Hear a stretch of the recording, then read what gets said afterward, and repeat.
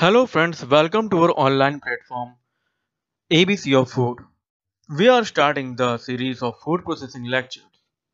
In this first lecture, we will be studying the scope of food processing, some basic definitions and spoilage of food. Okay, let us start our lecture by the definition of food processing. It is the transformation of raw food materials into other forms of food product either by physically or chemically means. It combines raw food material to produce marketable food products. Here raw food materials means any agriculture product or any dairy product or it can be any meat or poultry product. This food processing also includes the process of value addition to the final products. And second is food preservation. It is a process in which food and vegetables are prevented from getting spoiled. The color, taste, shelf life of food and nutritive values of food is also preserved. Here are the some examples of traditional form of food preservation. Here like pickles, murabbas and sun drying of grains. Why we process food? What is the need of processing? To extend the shelf life, to satisfy the taste, to make more varieties of food for convenience purposes, to meet the requirements of rapidly increasing population. By applying various preservation techniques like freezing and drying, we can increase the shelf life of food. India is the second largest producer of fruit and vegetables in the world, and around 18% of total production is pasted annually, according to the data from CIPHET. Processing of fruits and vegetables is extremely low in India, only at around 2 to 5% of total production. For minimizing these wastages, post harvesting is needed. What is post harvesting management? It includes the process done immediately after harvesting the fruits or vegetables from its parent plant. As it begins to deteriorate, therefore post-harvest treatments are given to increase its shelf life and maintain its quality. Thus, post-harvest management largely determines the final quality. Some of the process includes cleaning, cooling, sorting, and packaging. Now we see the classes of foods based on perishability or spoilage. First is perishable foods are foods that spoil quickly within one or two days. For example, milk, meat, fish, poultry and most of fruits and vegetables come under this category only. Second semi-perishable food. If these foods are properly handled and stored, they can last for 1 to 2 weeks. For example, vegetables like onions, potatoes, garlics fall under this category. Third is non-perishable foods items. These foods are those that generally last for one year and do not get spoiled unless handled improperly. For example, grains category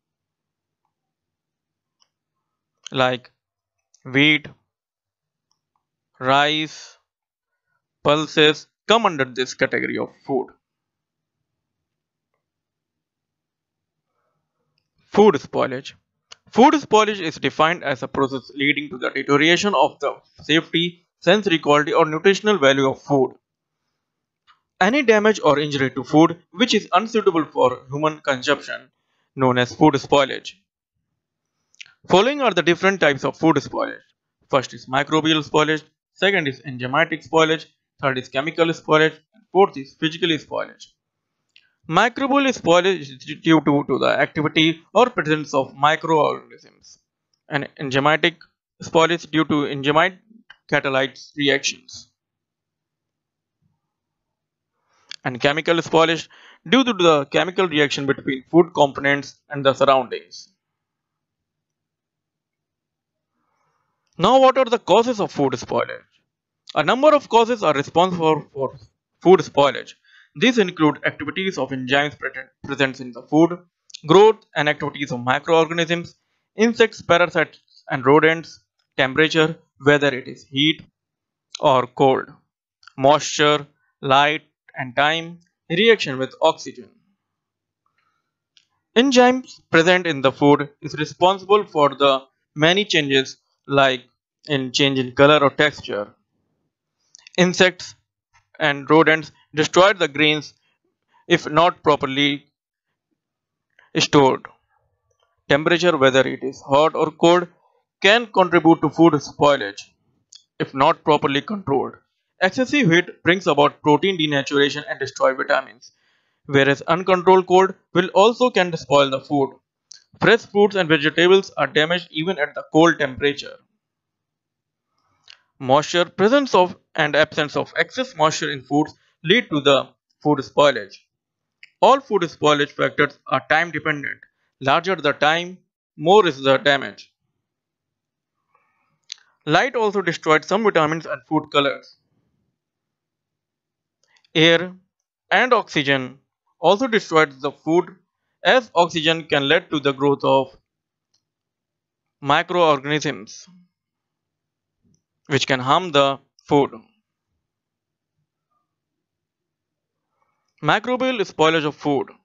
Bacteria, yeast, and molds are the major causes of food spoilage, but not all microorganisms can cause food spoilage. Use of lactic acid producing bacteria in making of dairy products, use of yeast as leavening agents in making of bread. These are some microorganisms which does not cause food spoilage. They produce various enzymes that decompose the various components of food. Now, the favorable condition for growth of bacteria. The structure is spherical shape, cylindrical shape and spiral shape. Length is about 1 micrometer and require maximum moisture content. Some bacteria cannot tolerate oxygen, known as anaerobic, for example Clostridium, and some require oxygen for growth, known as aerobic bacteria. For example, Pseudomonas. Some can grow in an atmosphere devoid of oxygen but manage also in here. For example, Salmonella and E. coli. pH is required around to 6 to 8. Bacteria spores are more resistant to most processing conditions than yeast or mold spores. Some bacteria can grow below 20 degrees centigrade known as psychrophiles, for example lactobacillus, and some can grow between 20 degrees centigrade to 45 degrees centigrade known as mesophiles. For example, Citrobacter. And some can grow above 45 degrees centigrade known as thermophiles, for example Clostridium bacillus. But the most suitable temperature is 37 degrees centigrade temperature, which is optimum temperature for growth of bacteria. And now the some favorable condition for growth of yeast and molds. Yeast can grow both conditions that is in aerobic and anaerobic conditions whereas molds can grow only presence of oxygen that is aerobic conditions. Temperature is mainly between the 20 to 25 centigrade and for molds it's also a 20 to 25 centigrade.